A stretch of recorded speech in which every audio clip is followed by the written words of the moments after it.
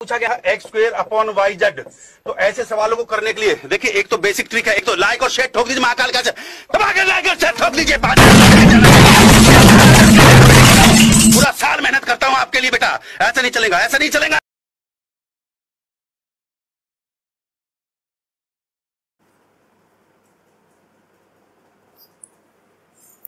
So hey guys this is Kuldeep and you watching UPSC library so आज के selection हम बात करेंगे यूएसए के बारे में बिकॉज़ अभी हाल फ़िलहाल में यूएसए ने, जो यूएसए के जो प्रेसिडेंट हैं जो बाइडन उन्होंने पैलेस्टीन को कुछ एड प्रोवाइड किया है। मतलब 235 मिलियन डॉलर की ये जो एड है, वो पैलेस्टीन को प्रोवाइड किया है। इससे पहले ये जो एड दी जाती थी तो इससे पहले जो यूएसए के प्रेसिडेंट थे ट्रंप तो उन्होंने ये एड स्टॉप कर दी थी रोक दी थी। सो इस एड को रिज्यूम करते हुए तो इसमें 235 मिलियन डॉलर पैलेस्टीन को प्रोवाइड हैं। तो जानेंगे इस लेक्चर में आखिर इस चीज़ के इम्प्लीमेंटेशन क्या हो सकते हैं। इसराइल क्या इसराइल ने क्या रिएक्ट किया तो देखेंगे इस लेक्चर में। सो so, जैसा कि कटआउट में दिया है कि Biden government restore aid to Palestine so restore का मतलब पहले ये जो एड थी जो ट्रंप गवर्नमेंट थी ट्रंप प्रेसिडेंट थे उन्होंने इसको रोक दिया था। तो इसी वजह से इस जो ये जो एड दिया उसको रिस्टोर किया है बाइडन गवर्नमेंट ने। तो इसमें ये बताया गया है। सो so, इससे पहले आप यूपीएससी लाइब्रेरी को टेलीग्राम फेसबुक और इंस्टाग्राम फॉलो कर सकते हैं। लिंक्स वीडियो के नीचे डिस्क्रिप्शन में दी हुई हैं।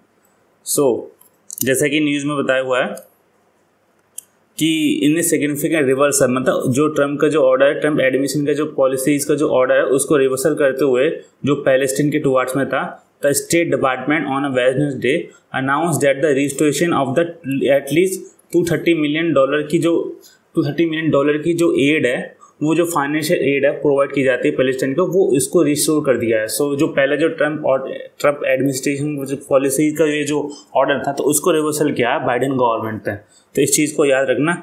So the administration had already announce 15 million dollar in coronavirus relief so इससे पहले जो बाइडन एडमिनिस्ट्रेशन उससे पहले इससे इस एड से पहले भी उन्होंने 15 मिलियन डॉलर जो कोरोना वायरस रिलीफ के लिए फलस्तीन को मार्च में ऑलरेडी दे चुके हैं। सो so, ये जो एड थी ये ट्रंप एडमिनिस्ट्रेशन के टाइम पे दी गई थी। तो इस चीज़ को भी याद रखना।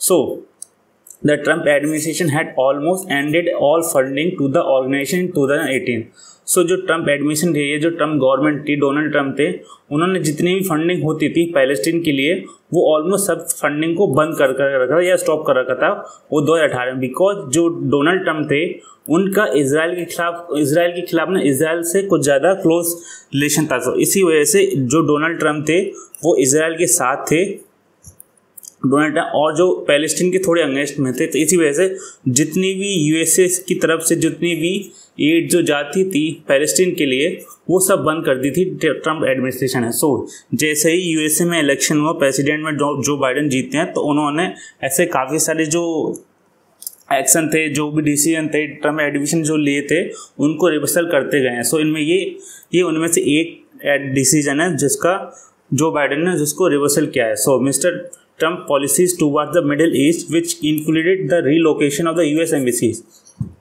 मतलब इसमें ये बोला है कि जो ट्रंप पॉलिसी में जो एक एक डिसीज़न था जो मिडिल ईस्ट में, कि जो यूएस की जो एम्बेसी थी, उसको रिलोकेट कर दिया वो कहाँ पर कर दिया? मतलब जो यूएस की जो पहले एम्बेसी थी इसराइल में, वो पहले तेल अवीव में थी, जिसको कैपिटल थी। बट वो जो ट्रंप एडमिनिस्ट्रेशन का उन्होंने उस एम्बेसीज को रिलोकेट कर दिया दोबारा कहीं शिफ्ट कर दिया और कहाँ शिफ्ट कर दिया? जेरूसलम वो एक डिस्प्यूटेड टेरिटरी है इसराइल और पैलेस्टीन के बीच में।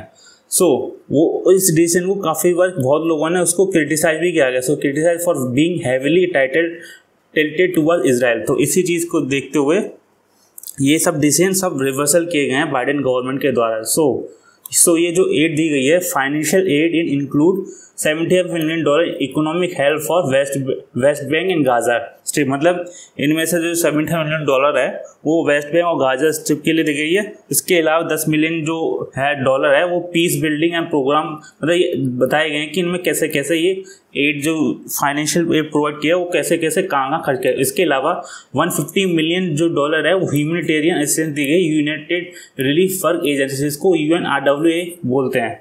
तो इस एजेंसी के बारे में नेक्स्ट आगे पढ़ेंगे बिकॉज़ ये एक पर्टिकुलर एक यूनाइट की यूनाइटेड नेशन की ऐसी एजेंसी जो सिर्फ़ पैलेस्टीन के लिए ही काम करती है। तो इसको भी जानेंगे तो इसी मूव को देखते हुए जो यूनाइटेड नेशन ने इस मूव को वेलकम किया और उसको और जाना है कि इसके बाद और भी कंट्री होपिंग मतलब और भी कंट्री इसमें डोनेट करेंगी और भी, और ज़्यादा फंड्स इसमें और ज़्यादा अटैक आएँगे। सो इसकी वजह से यूनाइटेड नेशन ने इस मूव को वेलकम किया है। इसके अलावा जो मोहम्मद सत्यान है, जो मोहम्मद सत्या हैं, जो पैलेस्टीन के प्राइम मिनिस्टर उन्होंने भी इसका, इस मूव का जमकर उसको वेलकम किया है। तो इस चीज़ को भी याद रखना। देन इसके अलावा इसके अलावा ये मूव जिसने, पैलेस्टीन ने तो इसका वेलकम किया बट इसके अलावा जो इसराइल है तो इसराइल के जो ऑफिशियल है, उन्होंने जो जो इसराइल का ऑफिशियल है, गिलान गिलैड एडन उन्होंने इस चीज़ का विरोध किया। इसके अलावा उन्होंने बोला इसराइल बोला है कि denounce the Biden administration decision to restore funding to agency saying it's activity और उन्होंने इस एक्टिविटी को क्या बोला है? एंटी इस्लाम एंटी इसराइल बोला और एंटी सेमेट्रिक बोला है, जो कि एंटी सेमेट्रिक नहीं है तो उन्होंने ये इस, इसी, इस तरीके से उस डिसीज़न को क्रिटिसाइज किया है। तो इस इस वजह से बिकॉज़ सो इससे पहले ध्यान देंगे कि ऐसे इसराइल और पैलेस्टीन के बीच में ये जो इश्यूज़ चल रहे हैं वो क्या है? एक्चुअली ये ये जो इसराइल और पैलेस्टीन के बीच में जो इश्यूज़ चल रहे हैं, वो काफ़ी ज़्यादा पुराने इशूज़ हैं। इससे पहले वो काफ़ी लंबे हैं डिकोट्स ले डिकेट्स लॉन्ग कन्फ्लिक्ट इन दोनों कंट्रीज़ के बीच में चल रही कौन, ये कंट्री हैं इसराइल पैलेस्टीन के बीच चल रही हैं। इसके अलावा ये जो लैंड डिस्प्यूट हैं दोनों कंट्री के लाइक होली लैंड इन दो कंट्रीज़ में लाइक कौन कौन से डिस्प्यूट हैं, वो एरिया हैं लाइक वो हो गए जेरूसलम हो गया। ये बॉर्डर हो गया, उन दोनों कंट्रीज़ के बॉर्डर के बीच में कि उनको बॉर्डर कोई डिफाइन नहीं है।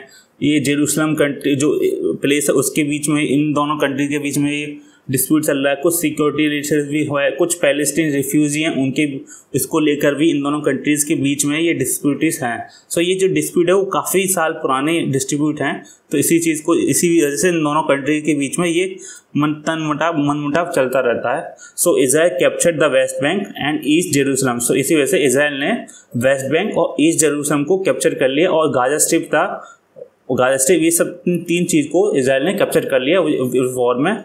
In the decade since Israel has build settlements और इसके बाद काफ़ी टाइम बाद इंडिया और जो इसराइल है उसमें वहाँ पर उन जगह पर अपने सेटलमेंट्स को भी बिल्ड कर लिया बना लिया इन द वेस्ट बैंक में और जी इस जेरूसलम में।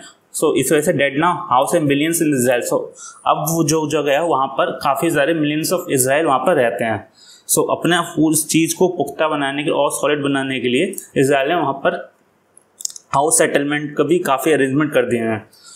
सो so, इसमें आपसे आपको और ज़्यादा ठीक हो जाएगा कि कैसे इसराइल ने पैलेस्टाइन की ज़मीन को कैसे कब्जा लिया ये कैसे कैप्चर कर लिया। सो so, ये 1947 से पहले ये पैलेस्टाइन का मैप है। सो पैलेस्टाइन पहले ये ऐसा होता था जब यहाँ पर इसराइल का कोई भी नाम निशान बट 1947 1947 के बाद ये जो वाइट वाइट वाला पार्ट है ये इसराइल और प्लस ये जो वाला पार्ट है ये है पैलेस्टाइन। सो 1947 के बाद इसराइल पैलेस्टीन आ जाता तो ये बाद में फिर नाइनटीन सिक्सटी सेवन वॉर के बाद पैलेस्टीन का जो लैंड है और ज़्यादा कम हो जाता है, वो सिर्फ़ वेस्ट, गाजा पट्टी और वेस्ट बैंक तक ही समिट के रह जाता है। दैन इसके बाद ट्वेंटी ट्वेंटी में देखा जाए तो पैलेस्टीन सिर्फ़ इन कुछ इलाकों में ही बस के रह गया, और जबकि इसराइल को देखा जाए इसराइल का लैंड हर साल इंक्रीज होता गया बिकॉज़ इसराइल पैलेस्टाइन के काफ़ी ज़्यादा लैंड को कैप्चर करने लगता है। कैप्चर करने लगता है, अपने वहाँ पर सेटलमेंट्स बढ़ा देता है, अपने वहाँ पर लोगों को भेज देता है, वहाँ रहने के लिए भेज देता है।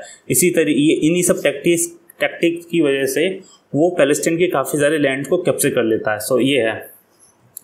सो इसी चीज़ की वजह से इसराइल और पैलेस्टीन के बीच में ये काफ़ी साल पुरानी लंबी वॉर स्टार्ट हो रखी है। इससे पहले भी वॉर भी हुई है और ऐसी वजह से चल रही है। तो इसी चीज़ को देखते हुए जब डोनाल्ड ट्रंप आए थे, जो डोनाल्ड ट्रंप थे, वो इसराइल को काफ़ी ज़्यादा सपोर्ट करते थे। इसी चीज़ सो इसी वजह से उन्होंने जो पहले उन्होंने जो यूएसए की तरफ़ से जो एड जाती थी, ये जो इकोनॉमिक फंडिंग जो जाती थी पैलेस्टीन को, वो उन्होंने बंद कर दी थी। सो उसी ऑर्डर को उन्होंने जो, अभी जो प्रेसिडेंट है यूएसए के, उन्होंने उस डोनाल्ड ट्रंप के जो डिसीज़न है, उसको रिवर्सल करके उस एड को दोबारा रिज्यूम कर दिया है और वो एड अब फैलेस्टीन को जा रही है। तो यही न्यूज़ थी जो हमने कवर की थी। सो इसके अलावा अगर हम इसमें देखा जाए, कुछ इंपॉर्टेंट लोकेशन है जो हमारे एग्ज़ाम के लिए काफ़ी ज़्यादा इंपॉर्टेंट हो जाती है लाइक जेरूसलम हो गया, ये जो वेस्ट बैंक में आता है दैट गाजा पट्टी या गाजा सिटी हो गया देन तल अवीब जहाँ पर, जिससे पहले यूएसए की एम्बेसी बाद में उसको शिफ्ट करके जेरूसलम में शिफ्ट कर दिया गया। देन हाइफा हो गया देन गोलन हाइट्स हो गया देन इलात हो गया। तो ये काफ़ी ज़्यादा इंपॉर्टेंट लोकेशन हो जाते हैं जो हमारे एग्ज़ाम के लिए काफ़ी ज़्यादा इंपॉर्टेंट हो लाइक ये मेडिटेरियंस हो गया इजिप्ट हो गया लेमनन देन सीरिया जोर्डन तो इन चीज़ को भी आप याद रखना। इसके अलावा एक ऑर्गेनाइजेशन है जो इसमें काफ़ी ज़्यादा वर्क करती है। बिकॉज़ ये जो फंडिंग जो मिलती है यूएसए की तरफ़ से, वो इस ऑर्गेनाइजेशन को मिलती है। सो ये ऑर्गेनाइजेशन उस फंडिंग का यूज़ करके पैलेटिन जो पैलेस्टीन्स के जो लोग हैं, उनके लिए काम करती है। सो ये इस ऑर्गेनाइजेशन का नाम है United Nation Relief and Work Agency so it is a ये ये एक यूनाइटेड नेशन की एजेंसी है, जो कि इस्टेब्लिश की गई जनरल असेंबली 1949 में। सो so, 1949 में इसको इस्टेब्लिश किया गया था। तो इस चीज़ को याद रखना। सो ये जो agency originally setup to take care of hundreds of thousands of Palestine so जितने पैलेस्टीन्स हैं उनका टेक केयर करने के लिए इसको इसको इस्टेब्लिश किया गया था। और ये कब गया था? 1948 में जो अरब इसराइली वॉर हुई थी उसके बाद में। सो so, इस वॉर में सब सो इस वॉर में इसराइल काफ़ी विनर बना था। इसी चीज़ को देखते हुए ये ऑर्गेनाइजेशन ये जो एजेंसी है उसको इस्टेब्लिश किया गया था। सो ये जो एजेंसी है पाँच फ़ील्ड पर पाँच सेक्टर पर ज़्यादा वर्क करती है लाइक एजुकेशन हो गया हेल्थ केयर हो गया रील एंड सोशल सर्विस हो गई कैंप इंफ्रास्ट्रक्चर हो गया एंड प्रोटेक्शन ये माइक्रो फाइनेंस हो गया तो इन सब चीज़ों पर ये एजेंसी काम करते हैं। सो ये जो फंडिंग मिली है वो इस इस एजेंसी को मिली है जो कि पैलेस्टीन के लिए काम करती है। तो इस चीज़ को आप याद रखना। सो so, आज के लिए बस इतना ही। अगर आपने यूपीसी लाइब्रेरी को सब्सक्राइब नहीं किया तो please subscribe the UPSC library and press the bell icon for the more updates धन्यवाद।